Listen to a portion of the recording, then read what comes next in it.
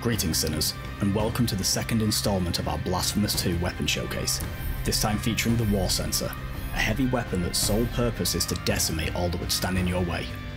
Unlike the Praying Blade, the War Censer is all about damage.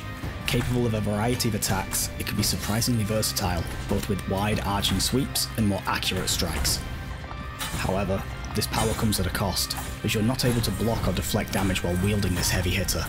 You'll have to stay on the move if you want to survive what's to come.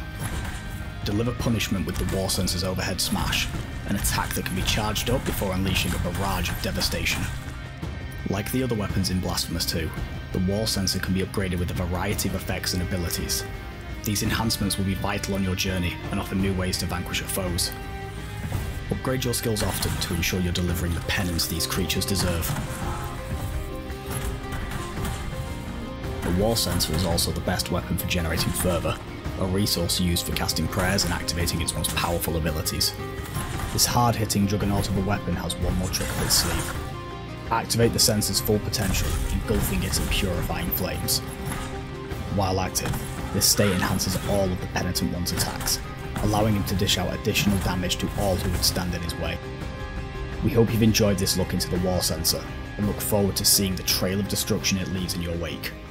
Until next time, sinners.